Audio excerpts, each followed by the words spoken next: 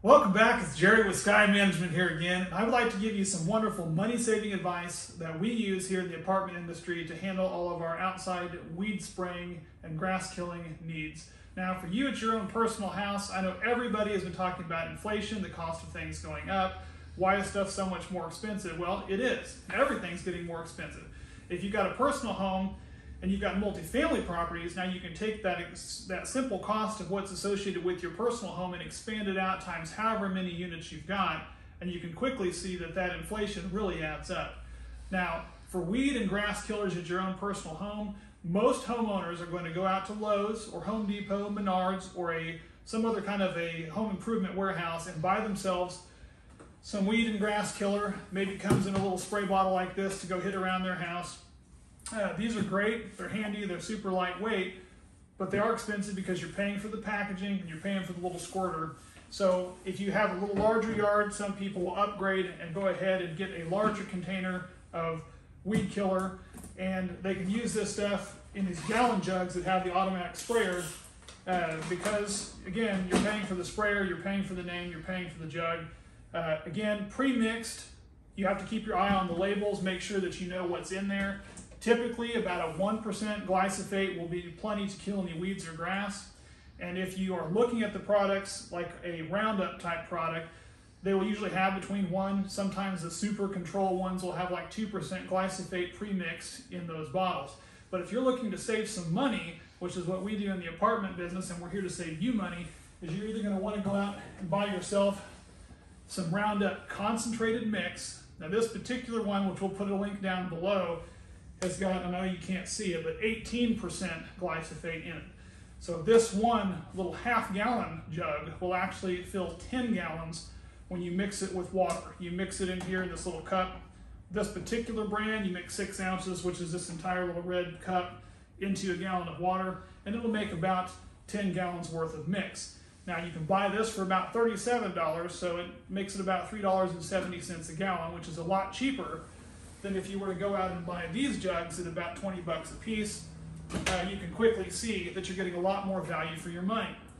If you are unlike myself or you are like us in the apartments and you have big time acreage that you're needing to spray, now we're going to be talking about getting yourself some different kinds of sprayers. This little handheld sprayer works great if you're going to go around an apartment and spray for bugs, but if you're looking to hit some weeds or hit some grass, you're going to want to up your game and spend a little money and get some better sprayers. Now we've got two different kinds of sprayers that we use for quick jobs uh, to run around. We've got the typical little two gallon sprayer and we can mix up concentrate in this. You can either use some uh, bug type concentrate in this, making sure of course you label your label your containers. You get that concentrate from do-it-yourself pest control. And we can put a link down below to how to get the hold of do-it-yourself pest control and you can order pest control needs from that. But for your weed killer, you're going to mix up your appropriate amount of weed killer in this, and you can go around, and these are operated by a pump spit system where you twist this top, and then you put it on the ground and just pump it.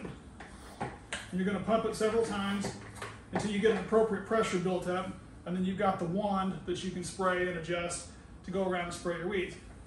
But after doing dozens or hundreds of apartments, uh-uh. Your arms are going to be tired. You're going to feel like they're falling off. So what we prefer over any of the others that we found is the Roundup backpack sprayer. Now we didn't use one of these for a long time. I was kind of skeptical, but we did go out and we bought one. And after we bought one, we went back and bought several more because this holds four gallons, which is a lot more uh, product in here. But simply unscrew this cap, you mix it in the top, and then to pump it, you carry it on your back like a backpack, so you're not carrying all the weight in your hands. Your hand's free. You've got your wand to pump it. You've got this other hand like this. So as you're walking around spraying, you're not having to worry about you're not having to worry about you know putting it down, lifting it up, carrying it. If you need to pick something up, pick up trash, whatever else you need to do, keep it in a trash bag, and you can be pumping it as you spray. So again, larger capacity, it's easier on your arms because you don't have to carry that in your hand. Uh, the sprayer is very ergonomical. It's easy to hold. It's an angled spray tip on it. You can adjust the tip as well. So would highly recommend this. I'll put a link to this one down below because it's definitely what we use. But any of these options are great. You just need to make sure you're mixing up the correct mix and you're using the correct product for the job and you can save money and get the job done right. Thanks for watching. I'm Jerry with Sky Management. We'll see you next time.